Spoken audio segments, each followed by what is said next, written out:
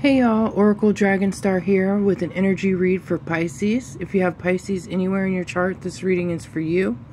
Take what resonates and leave the rest. Um, we're going to be doing the energies for the whole week and kind of what energies are around you or what, you know, energies you're giving off. Uh, we have you facing the Six of Cups in reverse, so I'm picking up on reminiscing or memories, bad memories of the past, uh, negative emotions about the past. Um, and we also have journal, writing, diary, keeping notes. So you could be um, definitely writing things down or even reading maybe past memories that you have wrote down or old journal books we have past energies. We have the Nine of Swords. Excuse me. And that is being in like having nightmares, anxiety, freaking out, um, maybe stressed, on edge about irreconcilable differences. It could be an ending of a relationship or a divorce, something that was final um, what we have with the present energies, we have a masculine energy, Knight of Swords in the reverse. So someone that could be coming into, um, they're not a truth type person. So they're going to be coming in to speak lies out their mouth. And they're not authentic. So they could be either think calling you trash or maybe that's how they feel about themselves feeling discarded thrown out. Um, how to help present energies. We have two of cups uh, so a relationship that has died or that is just not working out. Someone is pretending fake living beyond means um, not being true self, not speaking the truth.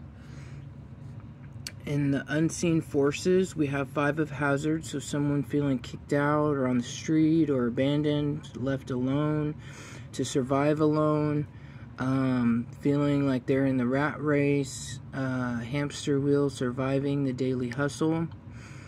That's the unseen forces that are going on around you at this time. Key to unseen forces, we have roller coaster, so high highest high adrenaline rush. When it comes to, this could be, um, so your emotions could be really high right now, and I'm picking up on because there's a lack of stability or feeling protected. This could be a masculine energy that um, doesn't stand in their truth and that is not a protector, that is not uh, being a man, um, and that you have like your emotions are on high about. Um, but I'm also picking up on lack of stability, on why your emotions are high at this time. So, how people are affecting you, we have the divine feminine and we have the high priestess. So the divine feminine is connecting, you know, with their spirituality, um, with the unknown and the unseen, and the secrets of the unknown. Um, could be really tapping into your third eye and um, just being really aware and alert of what's going on around you. We have what can help. We have ghosted, blocked, cut off for cutting someone off. There is a lack of desire for a new beginning when it comes to a king of hazards and the reverse. So someone who's not grounded, who's low consciousness. Um, so cutting off or blocking this person would help. Um, not letting them have access to your energy. We also have heart's desire. So, not wanting to take an offer. Um, We also have, let's see, children or youth or childhood or inner child. We have an interview, talk, conversation, get on the same page when it comes to a twin flame, a true love, the one mirror soul pledge. And we have a drastic, extreme, harsh cutoff. So,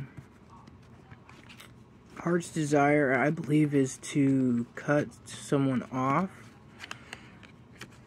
Either the a twin flame, to speak with a twin flame, or cut off someone, um, and have a meeting with your twin flame. Maybe about something that happened in your childhood. We have the outcome for the end of the week or future events to come.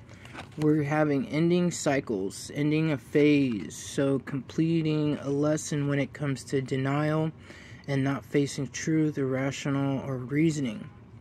So that's good. All right. All right, Pisces. I hope you got some insight and some clarity and that you join me again next time. I offer a nine card read similar to this. Um, it's you. It's one question, nine cards for twenty dollars. Cash App. Um, it's a pre-recorded video that will be sent to your email. You can get a hold of me or book me at oracledragonstar at gmail.com and I would love to help you out. Alright? Uh, I hope you guys have a good day or night and then I see you guys again. Bye.